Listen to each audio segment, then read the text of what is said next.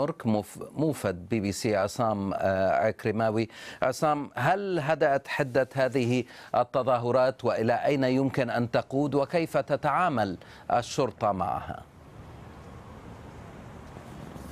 حمدان هذه التظاهرات كما ذكرت شملت عدة مدن أمريكية من الساحل الشرقي إلى الساحل الغربي هنا في نيويورك تجمع ربما حوالي 2000 ألفي شخص واتجهوا في مسيرة من مكان ليس بعيدا من هنا إلى برج ترامب الشهير في الجادة الخامسة حيث كانت هناك أعداد كبيرة من رجال الشرطة في المكان. وقامت ب يعني أقامت نوع من الجدار العازل بين المتظاهرين والمبنى.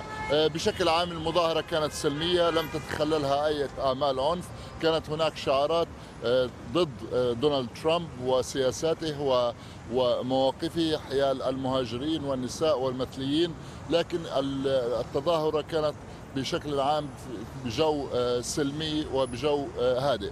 من المتوقع أن تكون هناك مظاهرة أخرى في بعد ساعات من الآن في ميدان قريب من المكان الذي نقف فيه وهو أمام المحطة المركزية الكبيرة في منهاتن سنذهب إلى هناك في وقت لاحق لنتابع أحداث هذه التظاهرة أو هذا التجمع.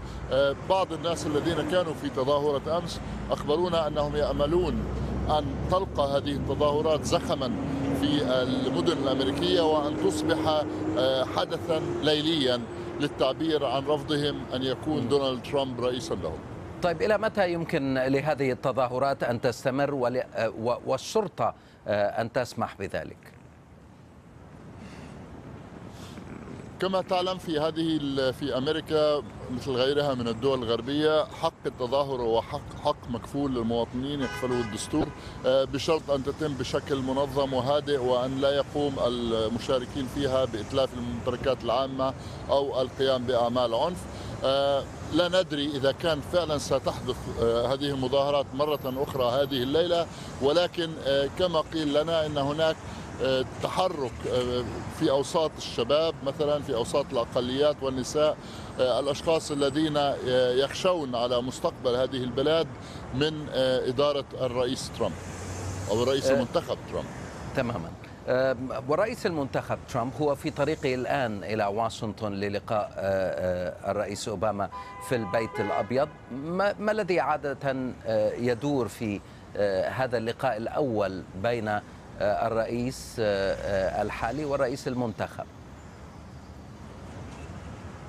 هو طبعا لقاء بروتوكولي بحت بحيث درجة العادة أو التقليد هنا في الولايات المتحدة على أن يوجه الرئيس الحالي الرئيس الذي هو موجود في الحكم الدعوة إلى الرئيس المنتخب للبيت الأبيض للتشاور حول المرحلة الانتقالية.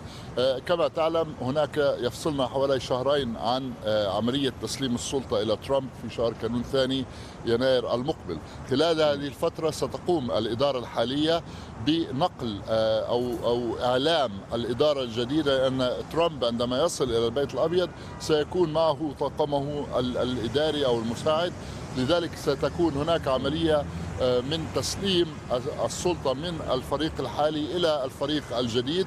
هذه تأخذ وقتا طويلا. أيضا كلام أوباما أمس اعترف فيه بما حصل. أقر بأنه يوجد خلافات بينه وبين ترامب وكان ذلك جليا خلال الحملة الانتخابية.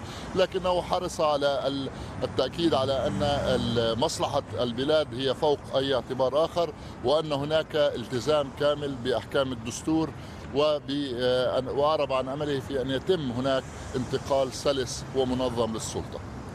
من نيويورك موفد بي بي سي عصام عكرماوي شكرا جزيلا لك